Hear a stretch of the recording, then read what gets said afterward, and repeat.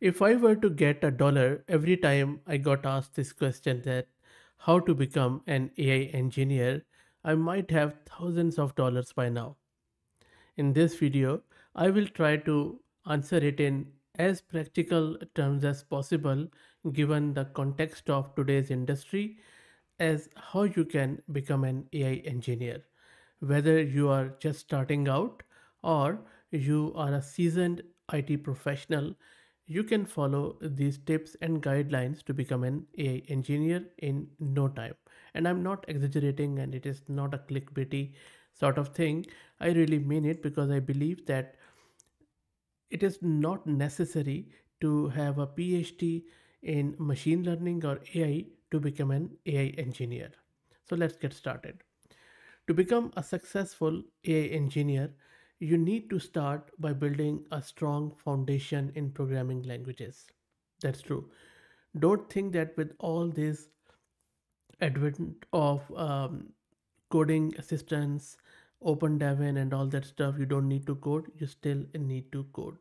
Just consider AI or all of these coding assistants as your buddies, as your companions. Make sure that you at least learn one programming language and learn it right. It could be Python, it could be Java, or it could be even C or C++ because that will teach you the importance of data structures and algorithms and also the code optimization.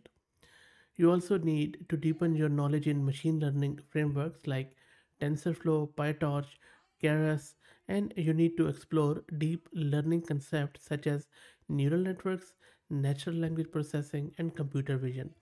You don't have to learn all that statistical equations, mathematical algebra, uh, calculus, or anything like that. You don't have to master all of those things at all, but at least at a very high level, you should be able to describe what exactly is a neural network, how exactly uh, self attention works, what is transformer, what is RNN, what is CNN, all of these steps at a very, very high level.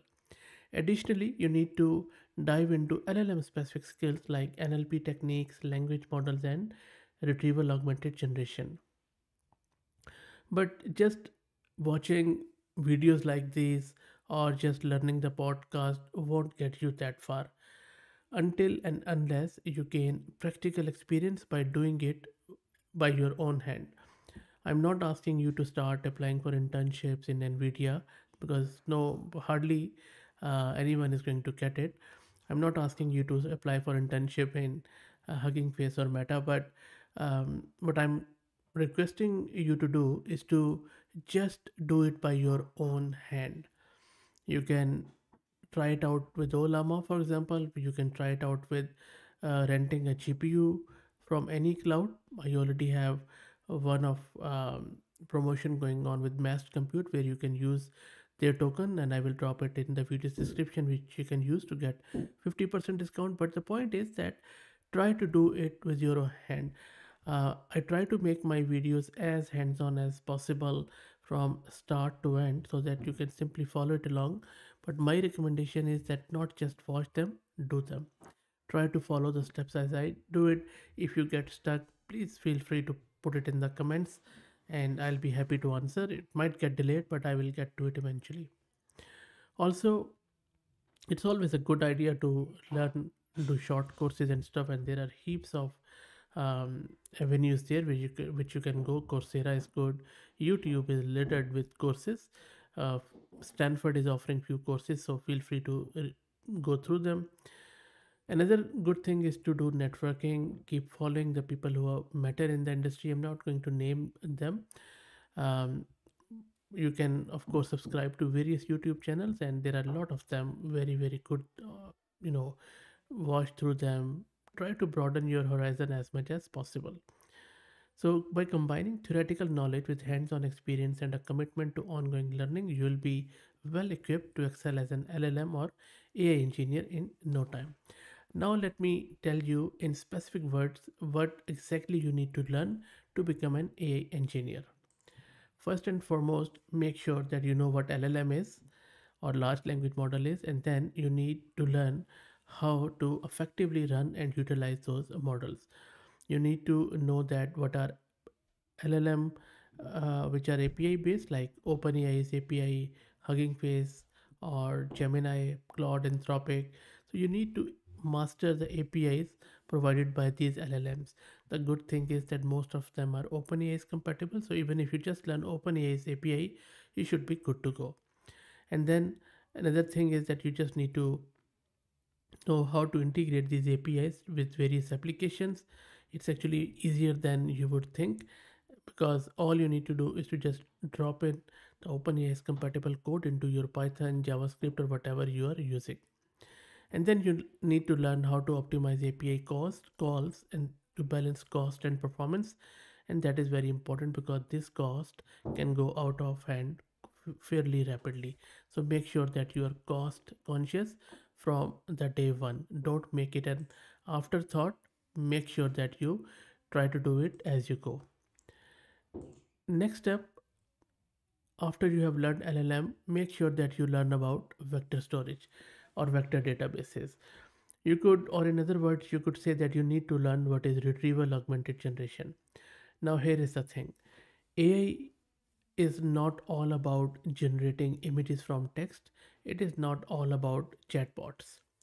The real business value comes when you get your own business data, no matter where, where it is stored, whether it is stored in the legacy DB2 database, Oracle database, your Jira, your Confluence, your um, any support CRM software or any sort of software, you need to get that data out and then you need to provide that data to LLM so that whenever you're asking your business related questions, LLM would give the responses more or totally grounded in your own applica- application or data.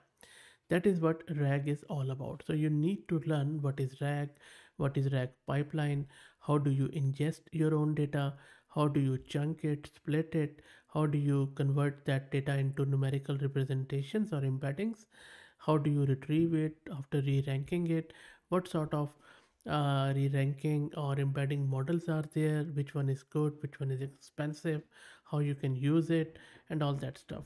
And then you would need to settle on do you already have a vector store? Maybe you're already using postgres database in your enterprise. All you need to do is to just enable an extension um, on that postgres and you will have your own vector database. Or if you want to go with any cloud based or if you want to host it locally and there are heaps of them i already have done videos on all of them. So just search the channel. So this is what you need to know and then you would need to know how to build your own RAG pipeline from orchestrator to retriever and what sort of memory you are going to use for the context and then how you are going to evaluate and instrument it and monitor it. And there are heaps of tools i have done heaps of videos on it but make sure that you are aware of it and you learn through it. Next up you need to make sure as deploying an llm is one thing optimizing the whole ecosystem around LLM is a totally different thing. There are a lot of things there, so maybe you would need to use flash attention, but that is dependent on the GPUs because there are few GPUs which support it, many of the modern ones, and there are few which doesn't support it. And you need to make sure you are using the latest versions and stable versions of, for example, transformers, PyTorch, and that sort of thing.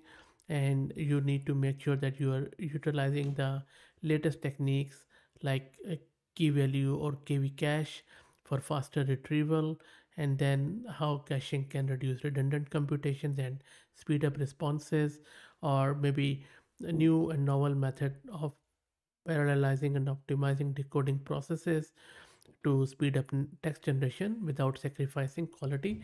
So the point here is that I just mentioned this KV cache and speculative decoding. There could be any other thing too, but I haven't really put it in here. I just gave it this an example. Another thing you could say around data sets as, for example, if your uh, the data set which you are giving it is not good enough, um, maybe you would need to do the supervised fine tuning. You need to do direct preference optimization. Maybe you just need to do the quantization of the model. Or if you are already using quantization, performance is not good enough. Maybe you just need to dequantize it and go with full precision so there are a lot of things which you need to do and you can read through them one by one.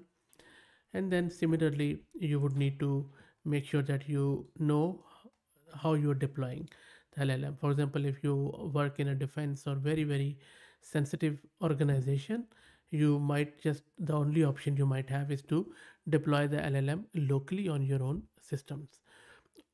Or maybe you just want to uh, take advantage of some cloud offering maybe you just want to go with public cloud the hyperscalers like aws azure or gcp alibaba or you just want to go with gpu cloud like massed compute runpod and there are a lot of others.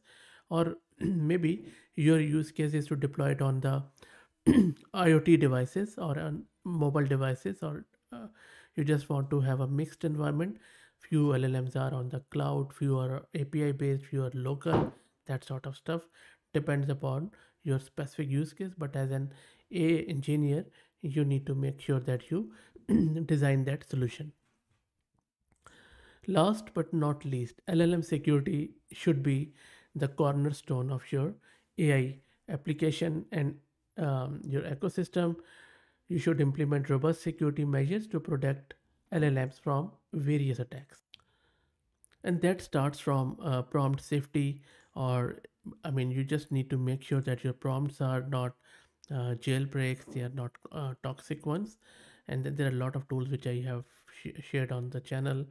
You need to make sure that your llms are safe. I mean just don't go out there because on uh, hugging face everyone is putting on the llms uh, make sure that whatever llm you're downloading especially for your business for your production use it is from a reputable provider and you have run all the checks and balances um, you need to make sure that security should be proactive so that you need to be aware of latest security trends what bugs and loopholes are being found in the latest libraries.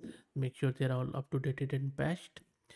So in summary becoming an llm engineer involves mastering a broad and deep set of skills spanning model running your retrieval augmented generation programming skills inference optimization security deployment.